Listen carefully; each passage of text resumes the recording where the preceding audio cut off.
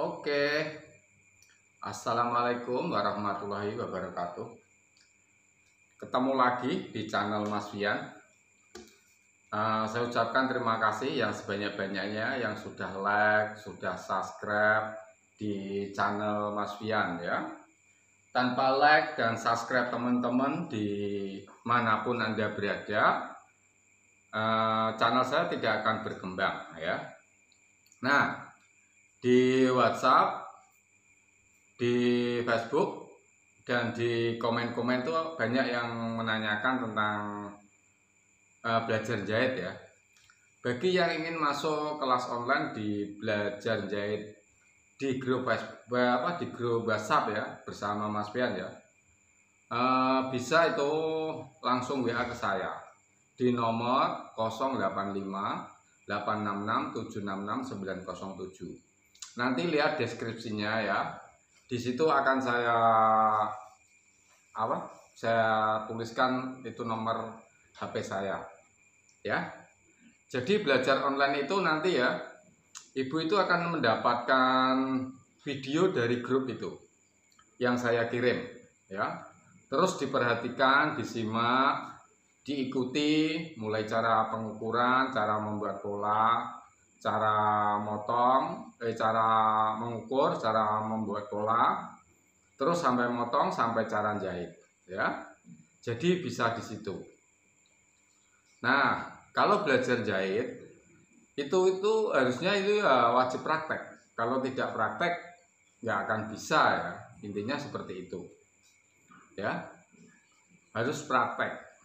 Nah, di situ nanti kalau masuk kelas online di grup Mas Pian ya, Ibu akan dapat tiga penggaris lengan, ya tiga penggaris lengan, terus bermacam-macam pola kerah, pola saku, nah seperti itu, ya. Nanti langsung materinya nanti jelas. Jadi kalau yang ketinggalan dari YouTube misalkan cari-cari susah, kadang malas kan, bisa langsung dapat videonya dari grup WhatsApp. Jadi seperti itu. Kalau daerah Jawa itu uh, 150 bonusnya sama tiga penggaris sama macam-macam pola, pola kerah. Terus untuk luar Jawa 175 pasti berpikir kenapa kok beda? Karena ongkos kirimnya itu berbeda ya. Kalau luar Jawa kan agak mahal. Kalau daerah Jawa ya sekitaran 25 ada yang 18 ada yang mentok-mentok itu sekitar 30-an nah seperti itu. Ya. Nah sambil saya nanti bicara sama saya akan membuat lubang kancing. Sambil saya menjelaskan cara membuat lubang kancing antara perbedaan pria dan wanita itu sebelah mana itu nanti ada ya. Nah, bisa disimak. Terus ukuran-ukurannya gimana nanti bisa ya. Nah langsung dilihat ya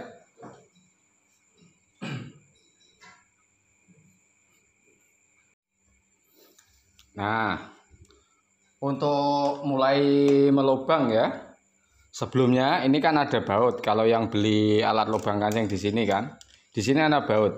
Ini bisa dikendorin pakai obeng ya. Di sini dikendorin. Nah, seperti ini. Kita angkat dulu ya sepatu ya. Nah, gini.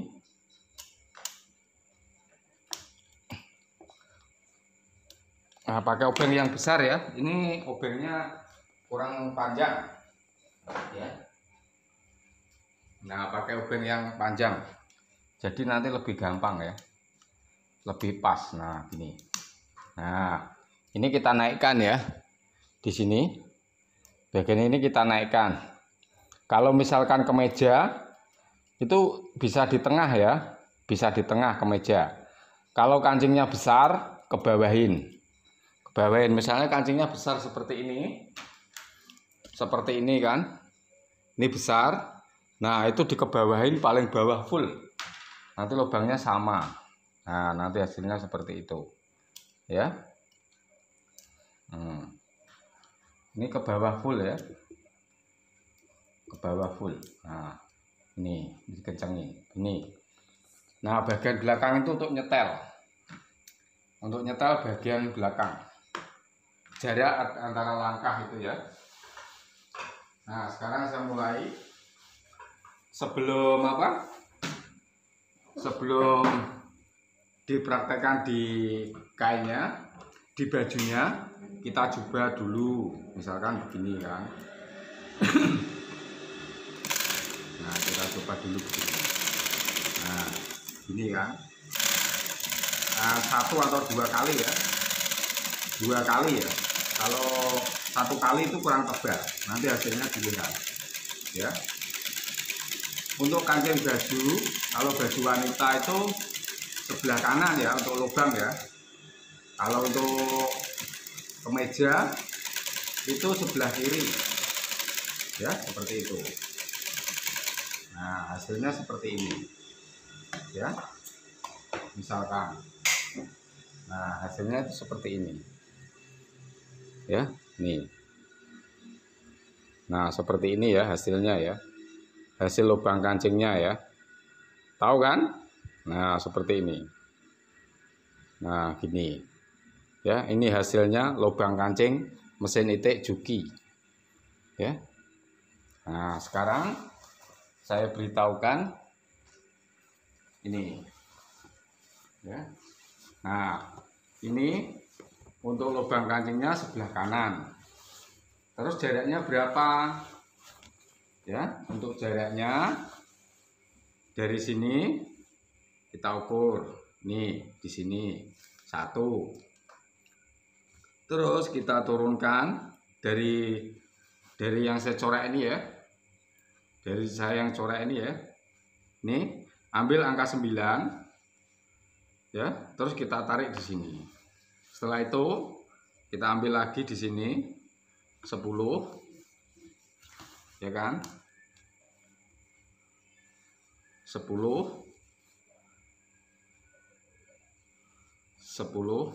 di sini kita ambil lagi 10 jadi kancingnya 1 2 3 4 5 6 seperti itu ya 6 ya. Oh, ini. Mengerti kan? Nah sekarang kita lubang kita lubang ya. Nah ini. Kita lubang hmm. seperti ini. Ya. Hmm. jelas ya langsung langsung pas di tengah-tengahnya ya antara sini dan sini antara kiri kanan ini pas tengahnya ya. Ya pas tengahnya gitu ya. Nah misalkan saya ambil kamera saya dekatkan posisinya itu. Saya dekatkan ya sebentar. Sini. Nah gini ya. Gini kan. Nah ini baut yang kita lubang tadi. Ini kan. Nah itu baut yang kita lubang tadi ini yang kita pindah-pindah. Dan ini untuk jarak langkah ya ini posisi disimak dipaskan ya posisi ya. Itu penting loh ya. Bagian ini ini bagian ini penting loh ya. Nah ini untuk mesin besar ya. Untuk mesin besar. Hmm. nah untuk mesin besar. Hmm sebentar. Saya tarik dulu ke sini supaya bisa menyamping ya. Nah, ini kan ya. Nah gini jelas. Ya. Langsung kita jalankan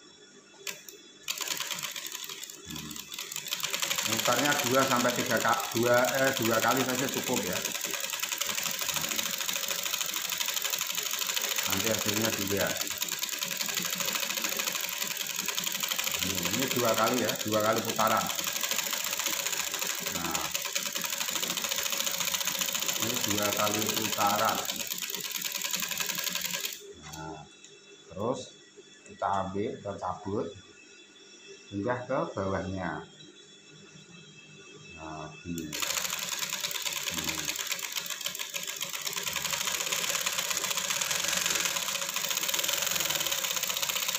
bisa ya? Nah, seperti ini. Ini untuk baju baju apa namanya? Baju yang kancingnya besar. Nah sekarang saya contohkan yang untuk baju yang kancingnya kemeja ya. Ini ya hasilnya ya. Ini ya. Nah ini hasilnya ya. Ini ya. Nah ini kan. Nah ini. Oke sekarang saya praktekkan yang kemeja. Nah yang kemeja. Ini yang kemeja. Kita ambil kita tarik dulu. Kita tarik bagian apa? Untuk sepatu ini saya angkat dulu ya tadi udah saya angkat terus kita buka lagi. Hmm. kita buka terus kita naikkan di angka berapa ini? Nah seperti ini. Kecilkan. Jadi biar paham ya buat yang melubang kancing ya. Nah gitu kan? Nah ya. Sekarang saya mulai ya. Nah untuk cara melubang kancing bagian ini baju cowok ini satu ya. Terus di sini kita mulai. Kita mulai cara melubang kancing yang biar paham. Di sini 10 terus sini 10 10 10 10 ya. Jadi 1 2 3 1 2 3 4 5 6 nah untuk bagian saku kita ambil begini kita ambil tengahnya. Nah ini kan? Ya kita ambil tengahnya begini. Sudah dapat tengahnya langsung kita uh, lubang. Nah ini langsung diambil tengahnya ya.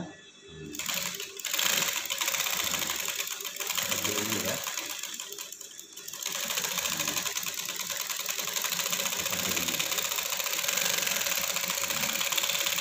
Ya jadi langsung taruh. Aduh. Oh sangat sedikit ya. Apa itu namanya?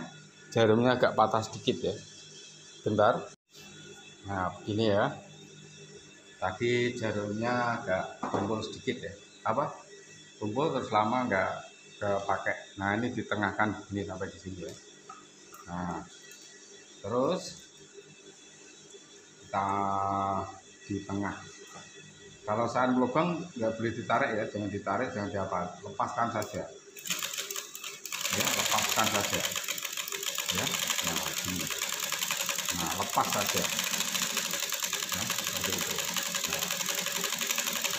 dua kali putaran ya. Nanti biar bisa rapi dan bagus. Nanti saya perlihatkan ya. Seperti ini cara melubang kancing seterusnya.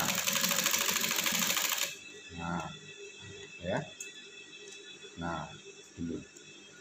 Ini ini ya hasilnya ya. Yang tadi sama ya nah di sini. Nah ini kan. Nih. Ya. Ini ya. Nah ini. Nah nanti pakai tusukan. Nah begitu. Ya. Hmm. Hmm.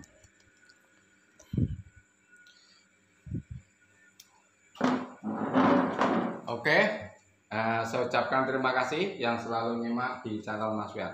Setelah ini jangan lupa akan saya buat materi cara membuat pola-pola macam-macam tunik, pola-pola tunik ya, yang kayak baju dipatung tadi ya. Nah itu. Sekian Terima kasih. Wassalamualaikum warahmatullahi wabarakatuh.